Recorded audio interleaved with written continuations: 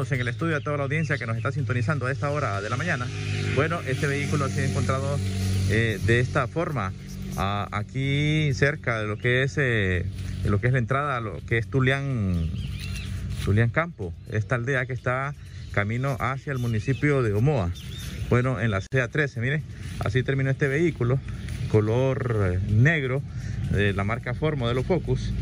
Eh, entendemos que en horas de, la madrugada pues estuvieron reportando fuertes lluvias y posiblemente el conductor perdió el control de, esta unidad de transporte, terminando este vehículo así como se puede ver en imágenes. Eh, sí se ha confirmado que no hay personas heridas porque pues el vehículo luego de que el conductor perdió el control del mismo salió de esta unidad vehicular y pues se trasladó a su vivienda. Entendemos que posiblemente en el transcurso de las horas pues va a poder venir aquí hasta una grúa para poder eh, sacarlo aquí donde lamentablemente esto miren, camino hacia Omoa en la CA13 posiblemente el conductor perdió, la, perdió el control del vehículo terminando allá en una hondonada. Eso es lo que se miran ¿eh?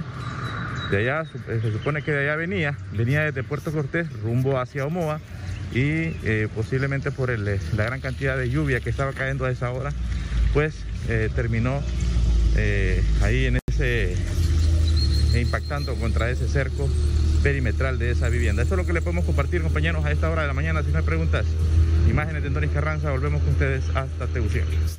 Gracias, compañero Gustavo López. Siete de la mañana con dos minutos.